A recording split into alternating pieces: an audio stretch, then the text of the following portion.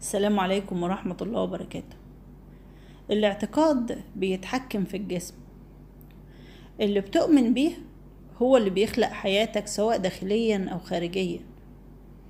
من الصعب جدا إن أنا أحاول أغير لك معتقداتك أو أتكلم عن شيء أنت مؤمن بيه وأحاول أهز ثقتك فيه ده ضياع للوقت. آه، رؤيتك للحياة بتحدد سلوكك وبتتحكم في حياتك. ممكن كمان تغير في جيناتك الوراثية. ولكن بما إن إدراكنا ده أحيانا بيكون صحيح واحيانا بيكون خطأ بلاش نسميه إدراك وتعالى نسميه اعتقاد. يبقى الاعتقاد هو اللي بيتحكم في جسمك. أنت مش ضحية لجيناتك الوراثية ولا حاجة أنت مسؤول عن كل حاجة بتحصل في حياتك. لو بصيت لنفسك هتلاقي إنك عبارة عن مجموعة من الخلايا تريليونات الخلايا. لازم تعرف إن كل خلية من الخلايا دي ذكية جدا ولها نظام بيحكمها وبيمشيها وبتقدر تستوعب اللي حواليها. لكن أما تكون عايشة وسط مجموعة يبقى لازم يكون لها قائد. مش هينفع كل خلية ابدا تمشي بدماغها. فهتتخلى عن ذكائها تماما وهتستجيب للن- للنداء المركزي. إيه هو النداء المركزي؟ النداء المركزي هو صوت العقل وتحكم العقل في جميع خلايا جسمك. تعال نعرف العقل ده شغال إزاي. اولا كده في إشارات من البيئة سواء داخلية أو خارجية. الدماغ بتستقبل الإشارات دي وبعدين بتترجمها وترسل المعلومات دي لكل خلايا من خلايا جسمك عشان تتحكم في سلوكك وفي جيناتك. يبقى وظيفة الدماغ هي الإدراك. آه، كلنا مثلا آه، سمعنا عن حاجة اسمها تأثير الدواء الوهمي. آه، يعني عندك مثلا تفكير إيجابي إن الشيء ده فيه شفائك ولو حتى حباية عبارة عن قطعة سكر. بس انت بتاخدها بتحس ان انت مستريح وماشي عليها ومبسوط يعني الإحصائيات كشفت إن تلت العلاجات الطبية الموجودة بما فيها الجراحة نتيجة الدواء الوهمي. طيب ده لو في تفكير إيجابي ناحية دواء معين أو علاج معين. يبقى في قلنا إيه؟ دواء وهمي بيعمل شفاء بسبب إن أنت حسيت واعتقدت إن في الدواء ده هيشفيك وفعلا حسيت بتحسن بعد ما خدته بالرغم إن ما كانش فيه أي تركيبة كيميائية.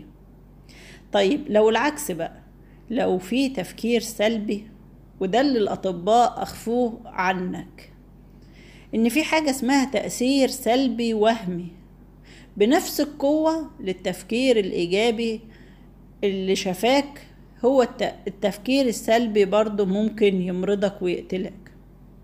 الاتنين ليهم نفس التأثير. الأول اتسبب في شفاك والتاني هيتسبب في مرضك وهينهي على حياتك. المحزن جدا إن التفكير السلبي ممكن إن هو يخلق كل أعراض المرض تخيل كده لو طبيب قال لواحد انت هتموت في اليوم الفلاني وان حالتك خطيرة وانه شخص أصلا الحالة من الأول غلط وبسبب ثقة المريض في الطبيب وان هو عارف ان هو الإنسان الوحيد اللي هيفتيه في اللي عنده المريض للأسف هي هي هي هي يعني هيتلبس الحالة المرض وهيموت فعلا في الميعاد اللي الدكتور حددهوله بالرغم انه ما كانش مريض ولا حاجة. بسبب الوهم والأفكار السلبية. آه، يعني كان في علاج اسمه آه، بروزاك. ده مضاد للتوتر والاكتئاب. آه، كان بيحقق مليارات الدولارات. لكن فجأة أعلنوا إن بروزاك ده عبارة عن سكر مضغوط في الحباية. ومع كده الناس مش راضية تسيب الدواء ومنظمة الصحة ما قدرتش إن هي تمنعه لأن ناس كتيرة جدا مؤمنين بيه وحصل لهم شفاء وماشيين عليه وبيقولوا إن هو بيحسن حالتهم المزاجية جدا جدا. عشان كده إذا اعتقدت إن في شيء في شفائك هتحس بحالة تحسن كبيرة جدا. وإذا اعتقدت إن في ضرر هتحس بإحساس سيء جدا. يعني في جنوب الولايات المتحدة في مجموعة دينية اسمها المعمدانية الأصولية. بيدخلوا نفسهم كده في حالة من النشوة والفرح بيحتفلوا بيعتقدوا من في اليوم ده إن ربنا بيحميهم. وبي وبيستعملوا بقى التعابين وأفاعي سامة من أخطر الأنواع والأفاعي في الاحتفال ده بتلدغهم فعلا. وما بيحصل لهمش أي حاجة. مش بس كده كده ده بعضهم بيشرب سم الاستركناين بجرعات قاتلة. آه لكن آه مش بيموت. آه ده بسبب إيه بقى؟ بسبب إيمانهم الشديد إن هم في حماية الرب في يوم الاحتفال ده. ما بيخافش من سم الأفاعي وما بيخافش من لدغة الأفاعي. لكن ممكن هواء الملوث أو المية الملوثة هو عارف إن دي ملوثة فممكن تقتله بس هو عنده يقين إن سم الأفاعي ده ما هو في حماية الرب. فهو عارف حاسس كده فمنعته بقى في السحاب فهو حاسس خلاص أنا هعمل اللي أنا عايزه في اليوم ده. تلاقي علبة السجاير مكتوب عليها السجاير تسبب الوفاة وحاطين واحد ومركبين له جهاز التنفس الصناعي وتلاقيه اللي بيشرب سجاير ده المدخن عنده إيمان ويقين إن السجاير كويس. ولا همه العلبة الرسمة اللي على علبة السجاير وعمال يشرب السيجارة والتانية وهتنصحه ليل ونهار مش هيسمعك هت يعني ما فيش أي يعني وممكن يعيش أكتر مني ومنك. لأنه هو عنده يقين إن هو الحاجة دي هو هضمه بيبقى كويس فيها بتفوقه بيحبها بتنسيه مشاكله هو هو حاسس إن هي كويسه وعنده إيمان شديد بيها مناعته كويس. لكن إحنا ما ما ما أقولكش روح اشرب سم الأفعى لأن إحنا ما عندناش يقين زي الجماعة دي ما عندها يقين باللي هي بتعمله. أو أنا أعرف لو أنا هشرب سيجارة واحدة لو لو لو, لو هاخد بس يعني ربع سيجارة أنا حاسة إن أنا هموت لأن نفسي هيتقطع. أنا حاسة بكده فأنا ما عنديش يقين اللي عند المدخن بالطريقة دي. فالمعتقدات شيء قوي جدا في في مناعتنا وفي حياتنا.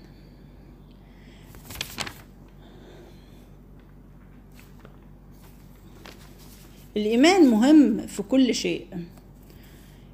بيأثر على حياتنا وسعادتنا وسلوكنا وصحتنا كل حاجة.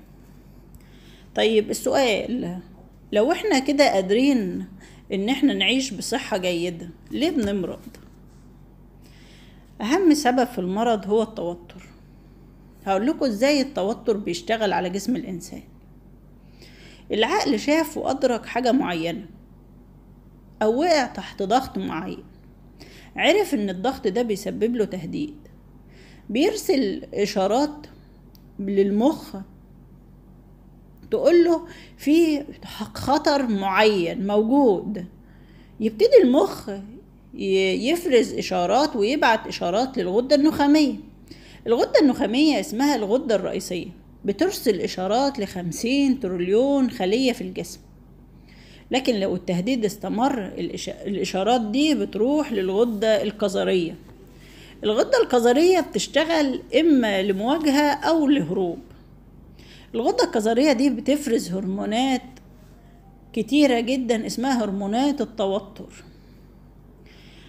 أول حاجة كده هرمونات التوتر دي هتعملها هتزود تركيز الدم في الذراعين والساقين. ليه بتفضل الذراعين والساقين؟ عشان المفروض إن أنت دلوقتي في خطر يبقى عشان تخليك تقدر تجري أو إن أنت تقدر تقاتل. هو المخ بعت لها الإشارة بكده. انت واقع تحت ضغط وخطر. بس على طول هتلاقي التوتر اشتغل في جسمك الدم كله اتضخ للدراعين والساقين. عشان كده أي حد متوتر هتلاقيه بيتحسن كتير قوي قوي لما يمارس الرياضة وخصوصا الجري. ويقول لك أنا حاسس بسخونة في إيدي ورجلي. أول ما يتوتر كده يقول لك أنا حاسس بسخونة في إيدي, ورجلي. طب أما التوتر بيندفع كده للساقين والذراعين طب الدم ده أصلا كان فين قبل ما يندفع؟ الدم ده كان في الأحشاء. طبعا وظيفته بقى النمو والصحة وهضم الطعام وكل ده. طبعا لما التوتر شاب س... س... لما التوتر جه والدم ساب الأحشاء وراح للساقين وال... والذراعين ساب الأحشاء عمل إيه بقى؟ طبعا هيوقف النمو هيأخر الصحة الصحة ال- الهضم هيقف لو يومك مليان بالضغوط فأنت بتسمح لهرمونات توتر كتيرة جدا إنها تتضخ في جسمك. هرمونات التوتر بتقفل جهازك المناعي. لازم تعرف إن كلنا مصابين بجميع الجراثيم الممرضة دلوقتي. أنا مصابة وأنت مصاب. لو أخدوا مننا أي عينة دم وحللوها حطوها تحت الميكروسكوب هيلاقوا فيروسات وبكتيريا وطفيليات وبلاوي. طب ليه إحنا مش مصابين؟ آه ومش مرضى؟ لأن لو جهازك المناعي بيشتغل بشغل كويس جدا وصحيح هيصفي الطفيليات والجراثيم دي.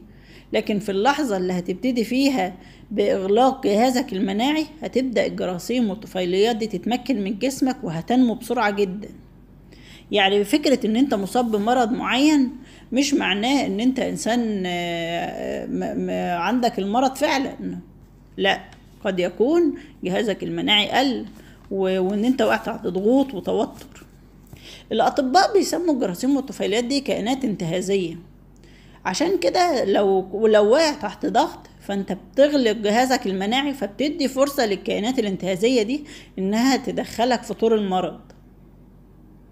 لكن لما بتاخد شوية أدوية ونروح للطبيب فبيدينا شوية أدوية عشان نقتل الجراثيم والبكتيريا اللي, اللي اتمكنت من جسمنا. وطبعا ده مفيد جدا ولازم نعمله.